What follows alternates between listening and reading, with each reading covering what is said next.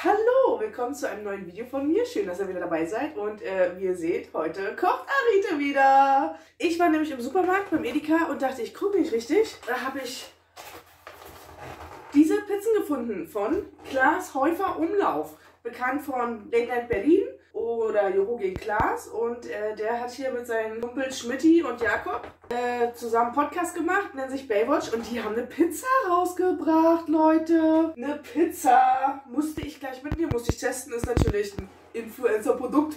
Lustig, dass man überhaupt gar nicht erkennt, wie die Pizza aussieht. Normalerweise ist ein Bild drauf. Hier nicht. Hier ist ein QR-Code, wofür der auch immer ist. Ich weiß es nicht. Ja, es gab einmal die Sorte Million Dollar Salami äh, mit Mozzarella Grande Padano und Trüffelöl. Trüffelöl, da bin ich gespannt. Ich habe ja Trüffel so aus einer Praline noch nie gegessen. Und einmal Golden Margarita mit Mozzarella, halbgetrockneten und marinierten Cherry-Tomaten. Jo, da lassen wir uns jetzt mal überraschen, wie die schmecken. Äh, 5,99 habe ich bezahlt. Ist jetzt nicht die günstigste Tiefkühlpizza, aber wir schauen mal. Ich schaue mal auf die Kalorien, was ich mir hier reinziehe jetzt gleich. Ich mache natürlich erstmal nur eine Pizza, weil ich kann nicht zwei Pizzen essen an einem Tag. Könnte ich, bestimmt. Will ich aber nicht. Äh, wir haben für die gesamte Pizza, ach Jemine, Oh, Alter, hau mal rein. Das ist bestimmt mehr als eine normale Standi-Pizza. 1285 Kalorien. Ich glaube, ich hab's, ne? Äh, Uiuiui. Ui, ui. Ich lese mir das jetzt mal durch und dann steht da bestimmt drin, wenn sie das jetzt essen, fallen sie tot um.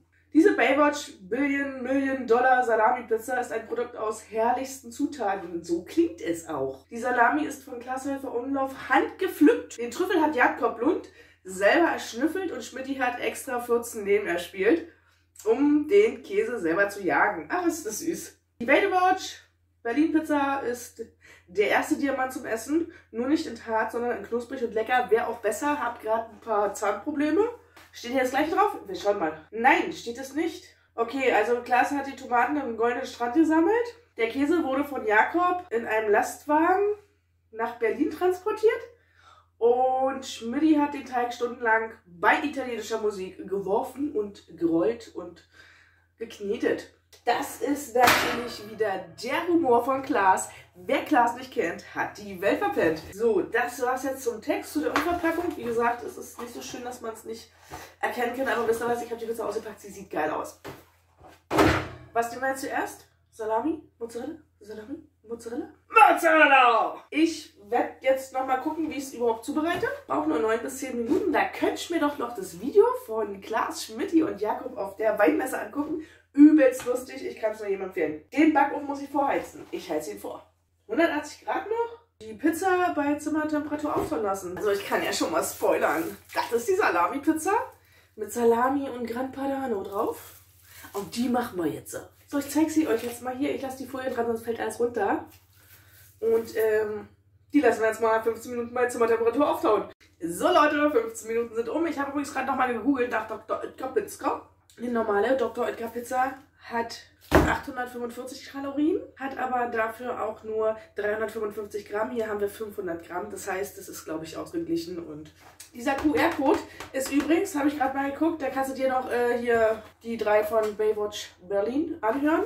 Wir haben jetzt unsere Pizza hier. Dann werden wir die Folie entfernen. Ich zeige euch das mal hier hinten.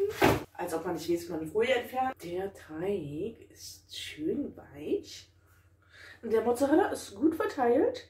Die Soße ist ähm, fragwürdig verteilt. Wie ihr seht, befindet sie sich auf der Pizza. Aber grundsätzlich haben sie hier, da hat die Maschine wohl ein bisschen geschludert.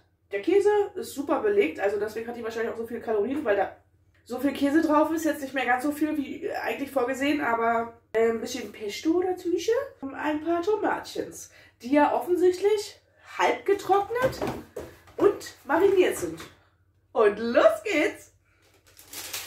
Mittlere Schiene drin ist sie. Und jetzt glaube ich 9 bis 11 Minuten. Und Leute, ich esse ja keine Pizza. Einfach nur so, ich brauche immer noch was extra dazu. Ohne Rucola schmeckt es halt nicht, ne? Also den ganzen Beutel haue ich mir dann oben noch drauf. Nein, Spaß, nur heim. Aber das brauche ich. Zu einer Mozzarella-Pizza brauche ich Rucola unbedingt. Ich weiß nicht, ob ihr es schon mal ausprobiert habt. Macht euch mal auf eine Mozzarella-Pizza Rucola drauf. Ein Traum. Jetzt heben wir mal den Käse auf, der von runtergefallen ist. weil ich nämlich schon zweimal reingetreten bin. Kling, katsching. So, sieht die... Oh. oh. Sie schnuppelt gut.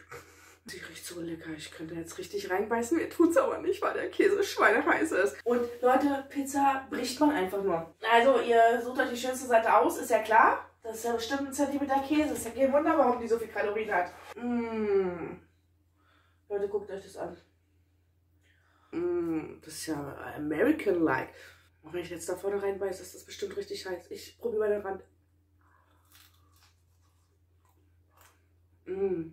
Mmh. Mmh. Das ist richtig knusprig, lecker, fluffig. Mmh. Fluffig vor allen Dingen. Marinierte, halb getrocknete Tomate.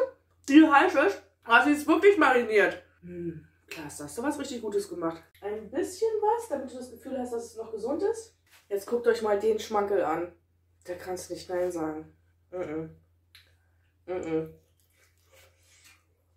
Mm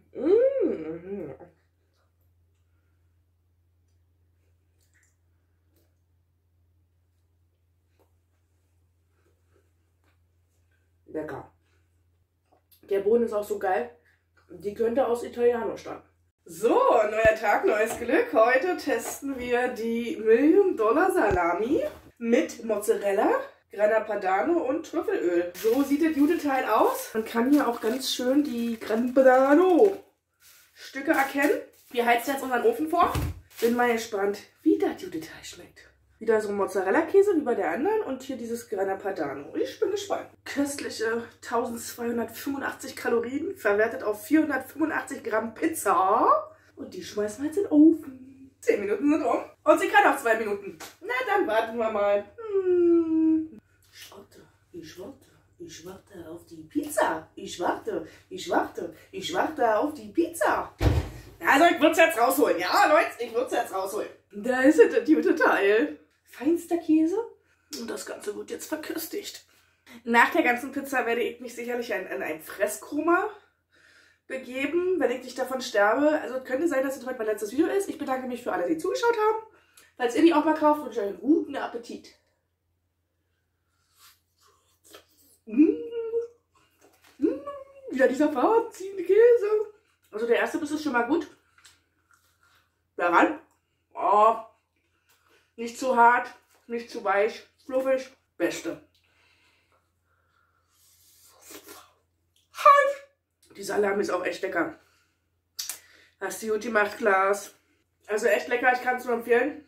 Obwohl ich die Käsepizza, glaube ich, besser finde als die Salami-Pizza. Beides geil. Mein Fernseher ist an, Netflix läuft. Ich danke euch fürs Zuschauen, bis zum nächsten Mal und äh, auf Wiedersehen.